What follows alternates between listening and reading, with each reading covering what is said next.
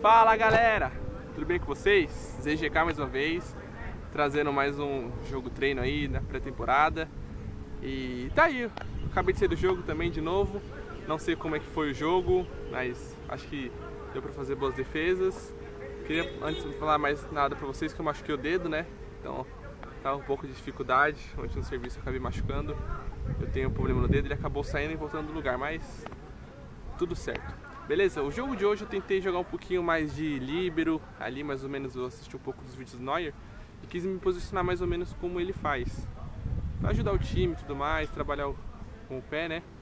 Que isso ajuda também dentro do, do campeonato. Se sempre o goleiro trabalha ali a bola com o pé, isso ajuda bastante. Então eu procurei fazer isso hoje e espero que dê certo. Tem alguns gols aí, eu coloquei, tem algumas defesas, deu pra fazer algumas defesas legais e tá aí. Vou falar um pouquinho do material que eu usei hoje. Eu usei a Predator, essa daqui, trava mista. Essa daqui é uma que eu gosto muito, já é antiguinha. Usei meião preto, simples. Usei a minha caneleira da Predator, que vocês já conhecem, aquela que é uma meia, né? Usei. Não lembro quem me perguntou, eu não respondi o comentário ainda, mas vou. Bem provável que eu vou responder ele uma calça de compressão, ela não é leg, ela é térmica mesmo.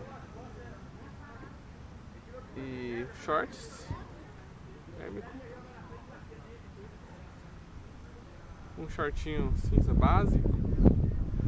E a camisa da Stigna Sport. Foi feita pra mim. Meu nome. Camiseta térmica da Penalty, manga longa. Simplesinha, só pra proteger. E o que todo mundo quer saber, né? Eu usei essa daqui, a Super Grip da U Sport. É o segundo modelo e vou estar tá usando ela mais vezes, acho que usei umas três vezes só, para trazer para vocês, beleza, galera? Então acompanha aí, espero que vocês gostem, já deixa o like, já comenta e ZGK é nóis!